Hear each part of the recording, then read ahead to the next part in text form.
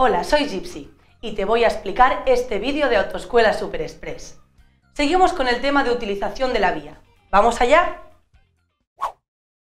Tanto autopistas como autovías son vías para ir rapidito, así que hay una serie de vehículos más lentos que tienen prohibido ir por autopistas o autovías.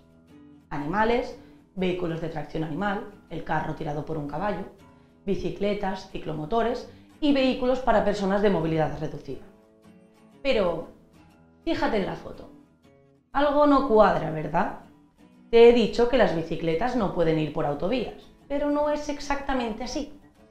Si el conductor es mayor de 14 años, podrá ir por los arcenes de las autovías, a no ser que haya una señal como esta, que diga lo contrario. Esta prohibición se completará con un panel donde te informen de un itinerario alternativo, de otra ruta que puedes tomar con tu bici. ¿Y qué pasa con los peatones?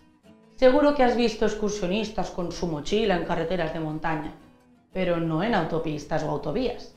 Está prohibida la circulación de peatones por autopistas o autovías. Pero ya sabemos que Chuck tiene algunos privilegios. Chuck Norris sí que podría, porque los conductores de servicios de urgencias o especiales sí podrán ir por autopistas o autovías siempre que sea estrictamente necesario para su trabajo y adopten las medidas de seguridad necesarias. Por ejemplo, los policías o técnicos de emergencias de la ambulancia. Y ahora te voy a hacer una pregunta. Si vas por la autopista y ves a esta chica tan guapa o a este chico tan majo que hacen autostop, ¿Te puedes parar y recogerles? Pues voy a darte un disgusto. Pero no, ni siquiera en las esplanadas de peaje podrás parar y recoger autoestopistas, ni aunque fuesen Brad Pitt o Angelina Jolie. En las autopistas de peaje se deberán utilizar los pasos de cabinas o puestos de control para pagar o retirar el comprobante de paso. Las cabinas o puestos de control están señalizados con un semáforo o flecha verde abiertos, o con semáforo o aspa roja, cerrados. Puede haber cabinas y carriles reservados a algunos vehículos, por ejemplo, solo camiones, o formas de pago, por ejemplo, solo con tarjeta de crédito. Los vehículos que usan peajes dinámicos o telepeajes deberán tener en el vehículo algún medio técnico como una tarjeta o pegatina especiales. Cambiarte de carril cuando estás cerca de la cabina puede ser muy complicado, Así que es importante que elijas el carril adecuado para tu tipo de vehículo y forma de pago. Ya sabemos que las autovías y autopistas son vías donde los vehículos van rapidito. Fíjate que incluso hay una velocidad mínima que es de 60 km por hora. Ahora imagínate que tu coche empieza a hacer cosas raras y te va muy lento.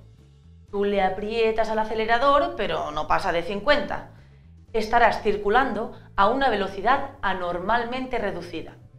En ese caso, si vas a menos de 60, velocidad anormalmente reducida, deberás abandonar la autopista o autovía por la primera salida.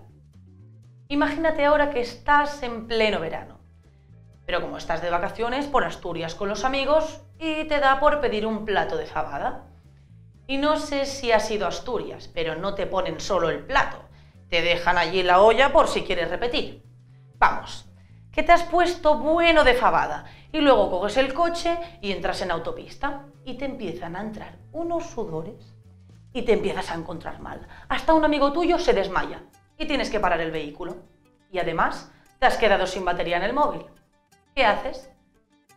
Pues buscar un poste de socorro como este que ves en la foto. Y si no hay, puedes pedir ayuda pero sin meterte en medio de la calzada, que puede ser muy peligroso. Vamos a ver lo que dice la norma. Espera, que me pongo firme, que habla tráfico. Si por accidente, avería, malestar físico de sus ocupantes u otra emergencia tuviera que inmovilizarse el vehículo y fuese necesario solicitar auxilio, se utilizará el poste de socorro más próximo y si no hubiese, se podría requerir el auxilio de los demás usuarios sin que ninguno de los ocupantes puedan transitar por la calzada. Uf, casi me quedo sin aire. Bueno, la norma también dice que para inmovilizar el vehículo podrás utilizar, si fuera preciso, el arcén o la mediana. Está claro. Mejor que dejar tu coche averiado en medio de la calzada, échalo a un ladito usando el arcén o la mediana. Vamos a resumir lo que hemos visto sobre la autopista. En autopistas y autovías, prohibidos animales, vehículos de tracción animal, el carro tirado por caballo, bicicletas, ciclomotores, vehículos de personas con movilidad reducida y peatones. Excepción. Bicicletas en autovías. Pueden ir por arcén si el conductor es mayor de 14 años. Chuck Norris, enfermos, peatones de urgencias si están trabajando. Prohibido. Recoger a personas que hagan autostop. Ni siquiera en esplanadas de peaje. Velocidad mínima 60 km por hora. Si tu velocidad es menor de 60 km por hora, anormalmente reducida, deberás abandonar la vía por la primera salida. Si hay avería, accidente o te encuentras mal, puedes inmovilizar el vehículo en el arcén o mediana, usar el poste de emergencia SOS y no puedes invadir la calzada para pedir ayuda. Pues ya está, hemos llegado al final de este vídeo. Antes de pasar al siguiente vídeo, te recomiendo que hagas el test que te hemos preparado. ¡Ánimo! Y sácatela, la teórica